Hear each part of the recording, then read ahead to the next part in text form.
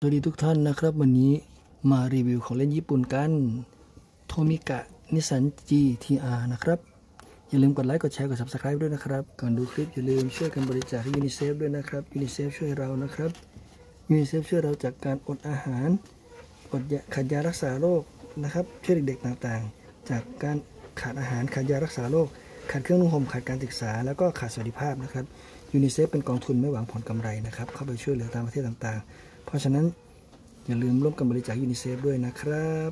บริจาคอย่างไรกันนี่ผ่านทางนี้เลยธนาคารกรุงเทพธนาคารกรุงไทยธนาคารกรุงศรีอยุธยาจำกัดธนาคารกสิกรไทยธนาคารไทยพาณิชย์นะครับเลขบัญชีก็ตามนี้นะครับ จดทันไหมไม่ทันก็ก๊อปปี้ไว้นะครับโอเค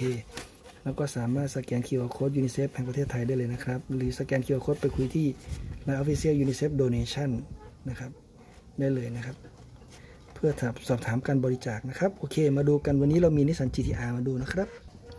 ที่ท่านเห็นอยู่นี่คือนิสสัน GTR นะครับ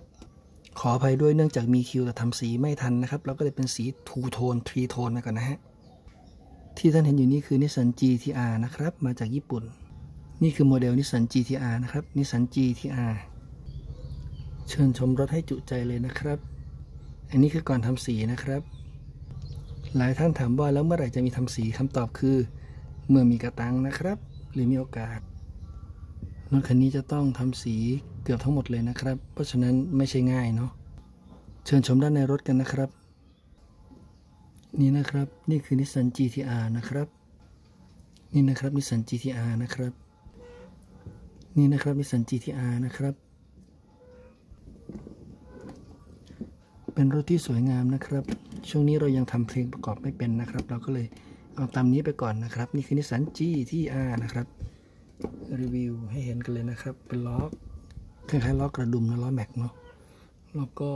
body เป็นโลหะกระจกนะครับ หลังคาก็หลังคาเรียบเพราะมีกระจกหลังนะครับ นี่คือยังไม่ได้เก็บสีนะครับ แต่ใกล้จะเก็บสีละคันนี้เป็น Hyper Rescue หรืออปพรนะครับอปพรนิสสัน GTR นะครับ นี่นะครับอปพรญี่ปุ่นนะนิสสัน GTR เลยสุดยอดเลยนะครับ จะเรียกว่าป้องกันภัยหรือบรรเทาสาธารณภัยพลเรือนก็ได้นะครับ ของญี่ปุ่นนะครับ เป็นมูลนิธินะครับเป็นองค์กรเลยเนาะถ้าเราดูในห้องโดยสารจะเห็นว่าด้านหน้ามี 2 ที่นั่งและด้านหลังมีที่นั่งซ่อนอยู่นะครับ ถึงจะ 2 ประตูแต่ซ่อนด้านหลังได้นะครับ มากันสีก็ไปได้นะครับ ตัวรถจริง ๆ ค่อนข้างใหญ่นะครับ เคยเห็นคันจริงมาแล้ว ค่อนข้างใหญ่เลยทีเดียว